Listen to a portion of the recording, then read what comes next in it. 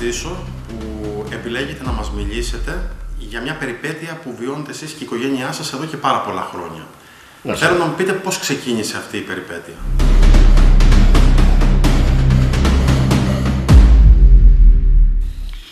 Ουσιαστικά ήταν πριν από μερικά χρόνια ένα περιστατικό το οποίο ουσιαστικά ε, με έχει στιγματίσει εμένα.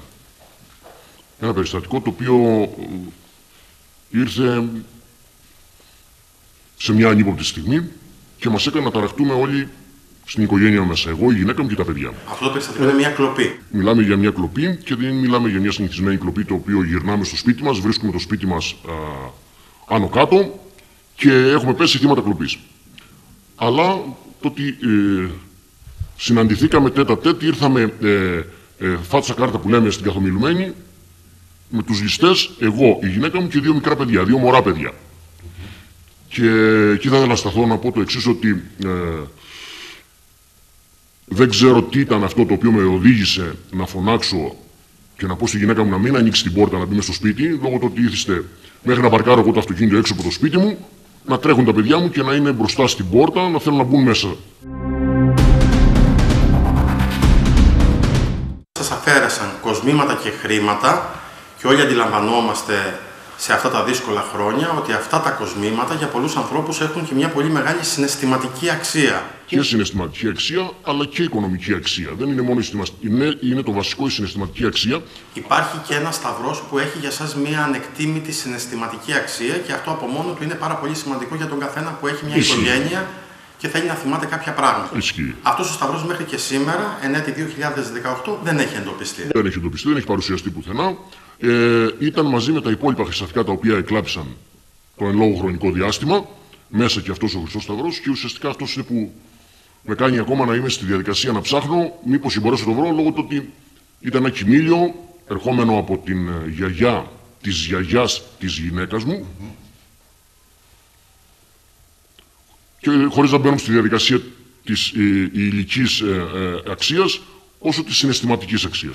Όμως ε, πέρασαν ένα χρονικό διάστημα, προσπαθήσατε να το ξεπεράσετε. Όμως τα ίδια τα γεγονότα σας έμπλεξαν σε μία υπόθεση που εσείς δεν γνωρίζατε καν. Θέλετε να μας πείτε τι ακριβώς συνέβη. Βεβαίως.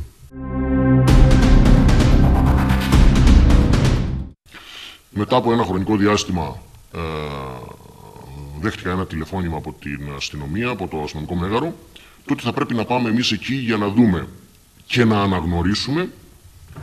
Ε, λόγω του ότι είχαμε πέσει θύμα κλοπής κάποια τιμαλφή τα οποία είχαν βρεθεί σε χέρια ε, τρίτων και συγκεκριμένα κάποιων ενεχειροδανιστηρίων χωρίς να γνωρίζω εγώ μέχρι τότε τίποτε.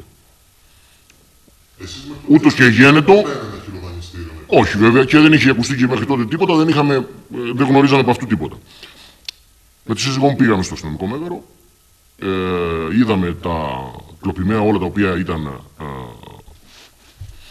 σε ένα πάγκο πάνω, αναγνωρίστηκαν κάποιοι και αναγνωρίστηκαν και λόγω φωτογραφιών αλλά και λόγω ε, σετ τα οποία ε, δεν ε, ε, έλειπαν κάποια κομμάτια τα οποία τα είχαμε εμείς στα χέρια μας και με αυτόν τον τρόπο πιστοποιήθηκε ότι ήταν του υπολείπου σετ αυτά τα οποία είχαμε χαθεί.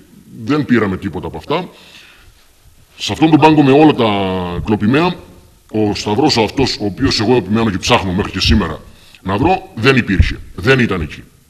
Κρατάμε το γεγονός ότι εσείς δεν επισκεφτήκατε ποτέ ένα εχειροδανιστήριο για να βρεθούν στην κατοχή ενός εχειροδανιστή που εμπλέκεται σε μια υπόθεση τα Ποτέ. Κοσμήματα. Ποτέ άλλο. Πρακτικά, αυτοί λοιπόν που μπήκαν στο σπίτι σας, πήγαν, θα το πω έτσι πολύ αλαϊκά, να σκοτώσουν τα δικά σας κοσμήματα σε ένα εχειροδανιστήριο. Ισχύει. Και μετά από αυτό, τι ακριβώς γίνεται, τι ακολουθεί; Έκτοτε δεν είχαμε καμία ειδοποίηση από την αστυνομία αν θα αποδοθούν τα κλοπημαία στους ε, ιδιοκτήτες τους, παρά μόνο ε, μετά από ένα εύλογο χρονικό διάστημα, μεγάλο, αρκετά μεγάλο διάστημα, ε, πήρα μια ειδοποίηση, μια κλίση έγγραφη, ότι πρέπει να παρευρεθώ ως μάρτυρας κατηγορίας ε, σε ένα δικαστήριο για ένα συγκεκριμένο πρόσωπο. Απόρρισα λόγω του ότι δεν πήγε το μυαλό μου το ότι μπορεί το συγκεκριμένο πρόσωπο να εμπλέκεται σε μια τέτοια περίπτωση. Και ουσιαστικά όχι να εμπλέκεται σε μια τέτοια περίπτωση, δεν πήγε το μυαλό μου ότι ήμουν μάρτυρας κατηγορίας για την περίπτωση αυτή, την περίπτωση που είχα πέσει θύμα κλοπής πριν από τόσα χρόνια. Ενήρισα λοιπόν και διερεύνησα μια κατάσταση στην οποία έμαθα ότι τελικά το συγκεκριμένο πρόσωπο εμπλέκεται στην υπόθεση αυτή με τη διάρκεια που είχα εγώ υποστεί πριν από πολλά χρόνια. Εσείς με όλη αυτή την περιπέτεια, γιατί είναι μια μεγάλη περιπέτεια και για εσάς και για Μέχρι σήμερα ναι. Ε, τι κάνατε, πώς θωρακίσατε τον εαυτό σας; Καταρχήν να υποθέσω ότι έχετε τρομάξει πόσο γρήγορα ένας άνθρωπος, πόσο εύκολα ένας άνθρωπος μπορεί να μπλεχτεί σε υποθέσεις που δεν έχει καν επικοινωνία με αυτούς τους ανθρώπους.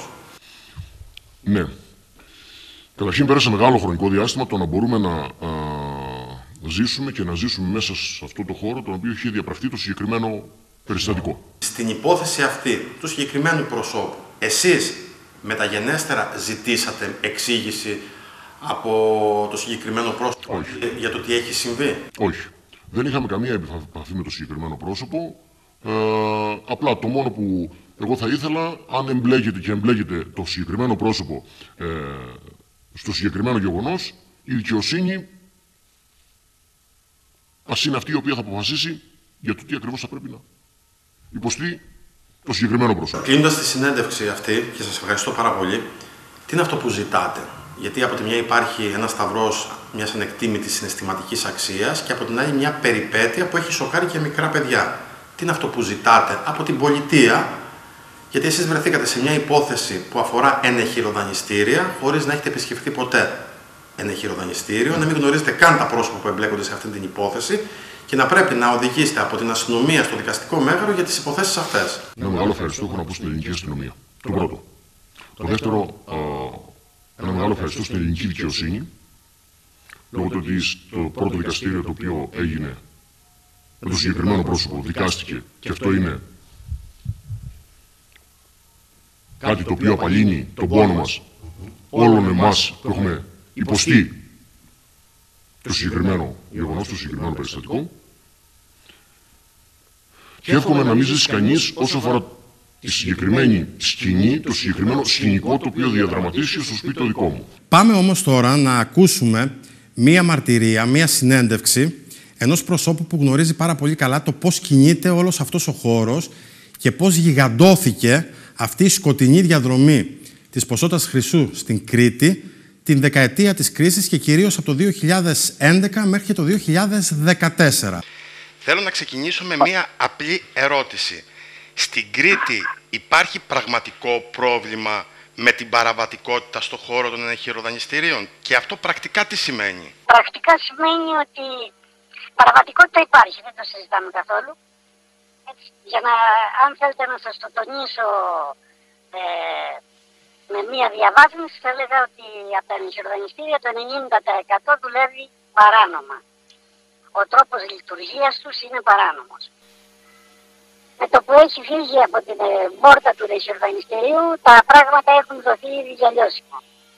Που αν θέλετε, τα νησιοργανιστήρια δεν έχουν το δικαίωμα του λιωσίματος. Άρα θεωρείτε ότι υπάρχουν στο Ηράκλειο και παράνομα χιτήρια γιατί σε παλαιότερα... Βεβαίω έρευνες. πάρα πολλά. Πείτε μας για αυτά τα Πάρα χετήρια. πολλά. Πώς γίνονται Σε αυτά, πώς μπαλκόνια, λειτουργούν; Σε ταράτσες, σε μετόχια, σε βίλες, σε βίλες πολλές και γνωστές μάλιστα θα έλεγα του Ηρακλείου.